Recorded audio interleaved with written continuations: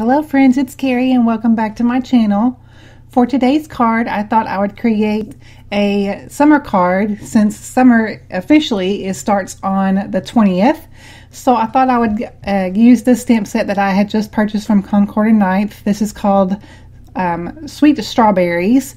And I love this set. I think it came out last year in 2019 and they were having a summer sale just a few days ago. So I thought I would go ahead and pick that up since it had been on my wish list for a little bit. And so I'm going to create this card today with you all. And I'm going to start out by using these masking stencils from Taylored Expressions. This is the rectangle set. And I love these little stencils like this because you can do all sorts of masking with them and makes it look like that you've got um, different layers on your card when you really don't. So what I am doing is just kind of creating a little bit of a um, backdrop a little bit and just to add a little bit of color to the background and not just place the strawberries on there. But I didn't want a full um, opaque, you know, stenciled area. I just wanted it to be in the lower, excuse me, the lower left corner and kind of fade up into white. So, but I did use my Distress Oxide ink in Tumbled Glass. That's one of my favorite colors of Distress Oxide inks uh, or the line in general. Next, I'm going to take my strawberries. I'm going to be using three of them in the set. I am going to be using the biggest one and then two of the smaller ones.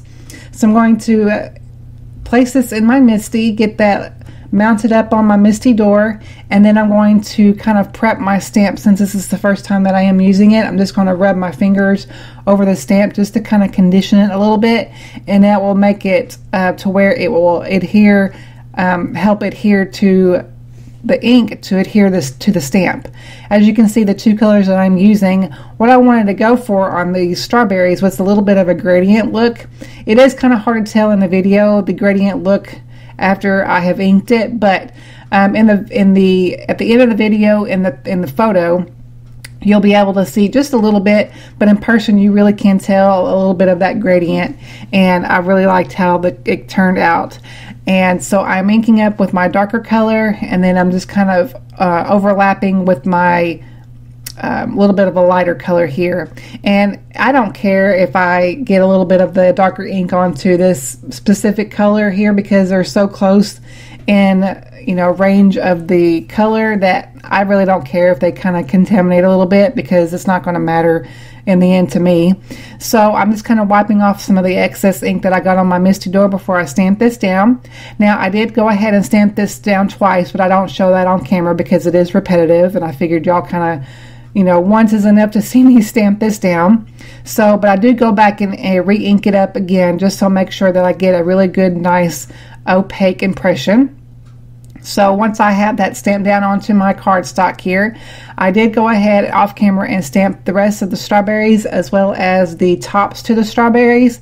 And I kind of did the gradient thing as well on the strawberries too with two different greens. And you can really tell on the tops of the strawberries that gradient.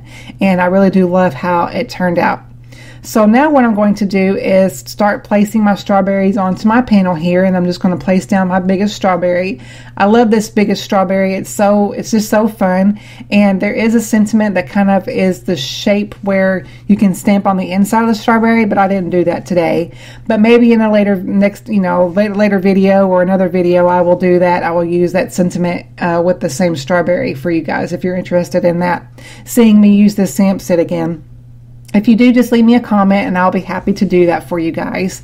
So I'm just kind of going ahead and using my liquid glue to add the tops of the strawberries to it. And then I'm going to add a little bit of foam adhesive to this middle strawberry that I'm going to add. This is kind of the middle uh, size of the strawberries. I've got the largest and then I've got a, a medium size, if you will, and then a little bit of a smaller size strawberry.